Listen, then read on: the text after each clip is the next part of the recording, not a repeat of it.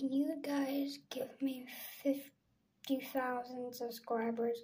And if you guys give me 50,000 subscribers, I'll shave my head. Bye.